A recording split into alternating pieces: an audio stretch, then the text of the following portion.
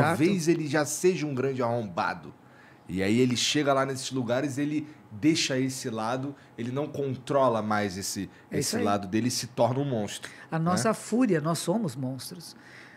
O livro que eu fiz, acho que foi com o Karnal, né? Nem anjos nem demônios. Não, esse foi com o Cortella. Nem anjos nem demônios. A nossa escolha entre virtudes e vícios. Está tudo em nós, tudo, tudo, tudo, tudo. Nós podemos ser os seres mais perversos, mais horríveis que possa imaginar. E podemos ser anjos de candura. Depende do que é provocado e do que é estimulado.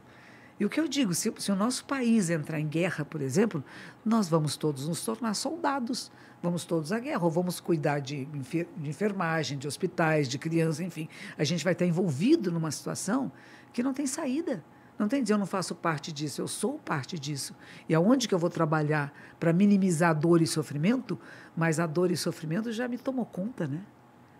É o que acontece, por exemplo, depressão que você falou, não é uma coisa assim que você não tem muito controle. Não. Eu não vou ter depressão, não vou ter, não vou ter, e de repente está lá.